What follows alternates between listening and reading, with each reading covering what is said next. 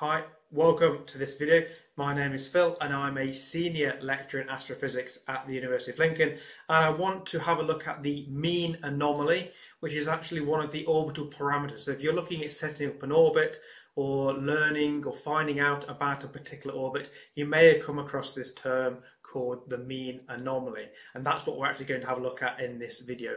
What it is and how you might calculate it.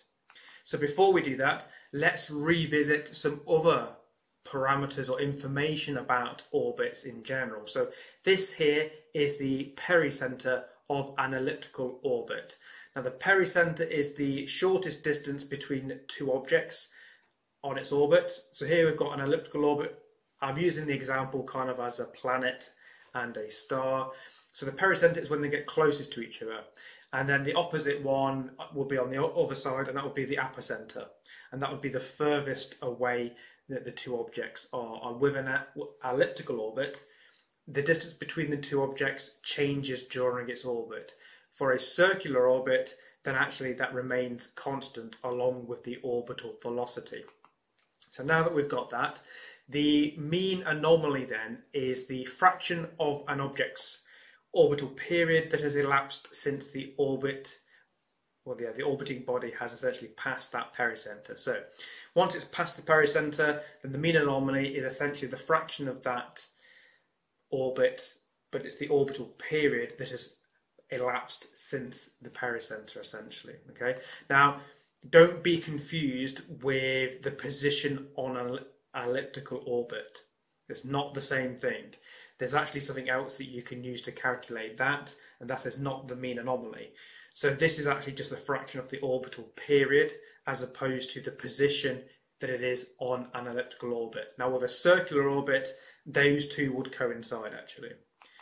So what we've got here, we've got the pericenter again, which is on the right hand side, and it's past the pericenter. So the mean anomaly is essentially the angular position from that pericenter of an imaginary object. So it's not the actual object that's orbiting, it's an imaginary object on a circular orbit that has the same orbital period as your object that has an elliptical one. And the thing here is that a elliptical orbit and a circular orbit can have the same orbital period even with the same semi-major axis. Uh, just because you make it more elliptical doesn't change the time it takes for it to do one orbital period. It changes its velocity during the orbit, but the total time for one orbit is the same. So actually, the angular position then is quite useful. So for a circular orbit, then it's orbiting with a constant velocity. The area swept out inside of there is going to be the same. Actually, it'll be the same anyway. Um, so the rate of angular velocity, its speed as it goes around doesn't change for a circular orbit. It's not changing in velocity, and the same area is swept out over the same amount of time basically. And actually, to be honest, the same is true for a elliptical orbit as well. But because it changes its distance between the two objects, it means it has to speed up and slow down. So here, if you've got an elliptical orbit, so it's got some eccentricity there, then the same area is still going to be swept out over time. This is one of Kepler's laws, uh, if you're familiar with those but it means that during the pericenter, it's actually going to have a faster orbital period than it does on the other side near the apocenter. So the orbital velocity changes during the orbit, but the total orbital period or the time it takes to go all the way around is still going to be the same as the equivalent circular orbit. So how do we actually calculate it then? Well, first we need to know the mean angular motion, or this is the rate of sweep that it's actually doing on its orbit and this is denoted with n.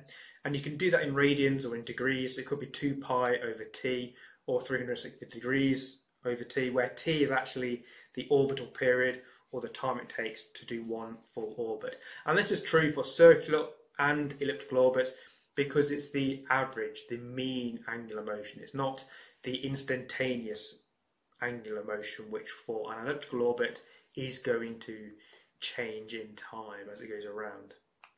So now we've got that kind of that mean angular motion.